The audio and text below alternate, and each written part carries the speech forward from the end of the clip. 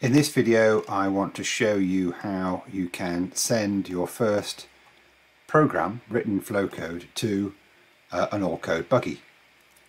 So if we just first of all load Flowcode and select a new target and it's a 16-bit PIC, uh, the Allcode buggy, and we select that as the target,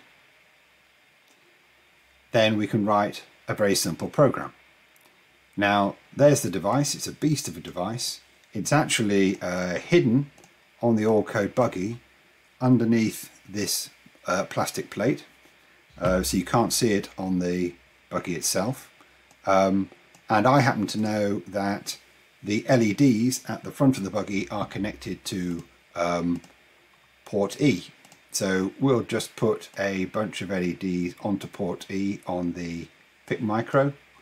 Um, there's a bunch of LEDs we'll connect them over here to um, port E, port E low. It's a 16-bit port and we'll just write a simple program um, here. Okay, so we'll output, uh, actually it's done that for us, it knows LED5 is on port E. We'll write a 1 to LED5, um, we'll copy and paste that and say 0 to that pin.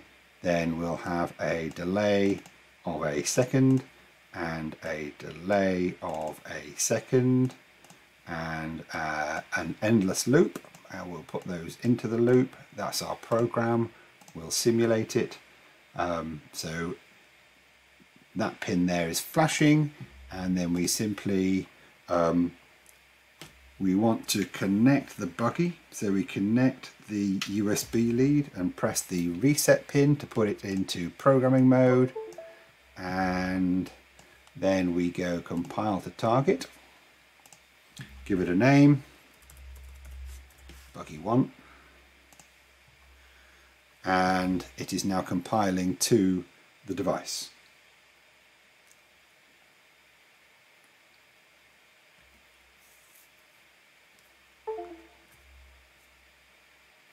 and now you can see the LED on the buggy let's just enlarge that a bit it's um, the fifth LED is now flashing at one second intervals so that's your first program um, next what you need to do is you need to get hold of the um, datasheet and find out all the different connections to the buggy so you can then program the motors, the display and everything else.